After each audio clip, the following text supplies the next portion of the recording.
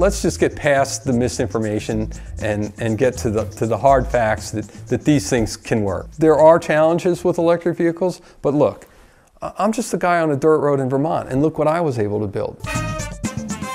A gasoline engine uses a fuel that is an ancient fuel that's drawn out of the ground thousands of miles away and a lot of energy and resources are expended in the processing of that crude oil into uh, gasoline or diesel that is trucked to our region of the country and dispensed in gas stations all over.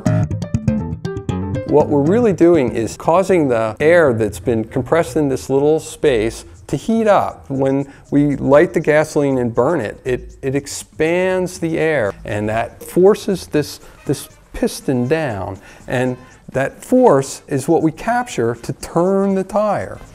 Well, that in itself is pretty cool, but all the junk that leads up to it and the exhaust that comes out after it, we can sidestep all that by using this, this electric motor that uses this magnetic force that has no moving parts and it's just this invisible clean force.